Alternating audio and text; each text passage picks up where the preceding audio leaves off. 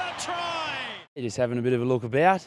Um, I don't think I'll be getting in the nets anytime soon, but uh, no, I had a bit of a yarn of the fellas, and I think there's a few out the nets out the back. So yeah, no, just good to come and have a bit of a look around. No, I actually had my first game of cricket uh, last Wednesday at the King's School. Uh, we did a batting for change sort of charity thing there, and yeah, Eddie Cowan and a few blokes were, were walking about. So um, I hit one and then ran myself out. So that's that's my cricketing career. But uh, no, I always enjoy it and yeah, I don't know. I can hardly see some of the pills that are coming down this crease at the moment, but uh, yeah, no, it's good to come and have a bit of a look about.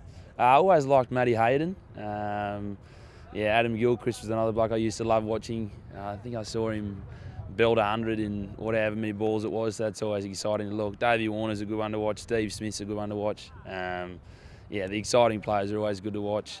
Uh, and the bowlers, Glenn McGrath, I sat next to him on a on a, uh, a plane ride back from Sydney to Dubbo so yeah, there's there's obviously a few blokes that I've always looked and you know seen them on TV and things like that.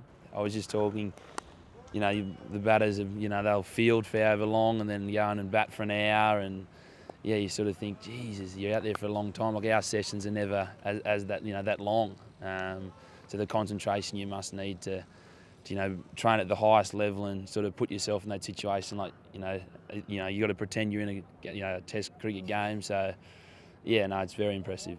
Well, you probably know the answer to my next question then is what would you rather do, face Mitchell Starc in the nets or take on the All Blacks?